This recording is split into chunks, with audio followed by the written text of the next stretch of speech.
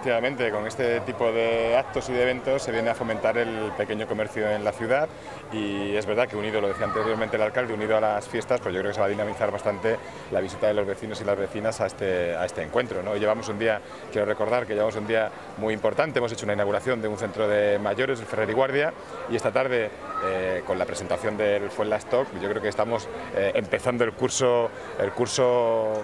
bueno, pues en septiembre yo creo que empieza el curso en, nuestra ciudad y lo estamos empezando con muchas ganas y con las fiestas próximamente. ¿Orgulloso que otras localidades copien el formato de Fuenlastock? Pues efectivamente, yo creo que hay un montón de, actuaciones que llevamos por parte del municipio de Fuenlabrada que se están copiando por parte de otros municipios y nosotros encantados ¿no? de exportar eh, actividades, iniciativas, en definitiva lo que se trata es que si se copia es porque funciona.